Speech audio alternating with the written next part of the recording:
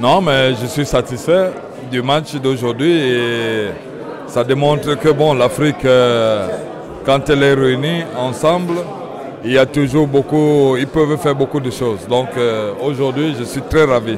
Non, mais je pense que on est, le Maroc est prêt. hein. Il faudrait que, il y a déjà eu en Afrique du Sud hein, la première euh, Coupe du, monde et le Maroc se présente comme le deuxième. Et je pense qu'il mérite, euh, mérite qu'on puisse, donner cette opportunité pour que, pour que ça puisse se, se faire. Et en plus, ça va être la troisième participation d'un autre pays d'Afrique aussi, parce qu'il faudrait que nous aussi, qu'on puisse inviter aussi l'extérieur pour qu'ils viennent aussi visiter l'Afrique. Donc je pense que c'est une opportunité. Mais je pense que non, Hervé Renard, c'est quelqu'un que je connais très bien, à qui j'apporte beaucoup de beaucoup, beaucoup d'admiration.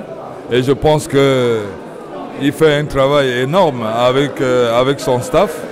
Les preuves, euh, il est là, donc euh, je pense qu'il y a des chances énormes que déjà, il puisse déjà au moins traverser le premier tour. Et vous savez, la compétition, lorsqu'on entre le plus difficile dans une compétition, c'est de pouvoir rester au premier tour. Si on reste, on traverse et après je dis non, je leur souhaite euh, une bonne chance et j'espère que Hervé Renard va démontrer beaucoup de bonnes choses.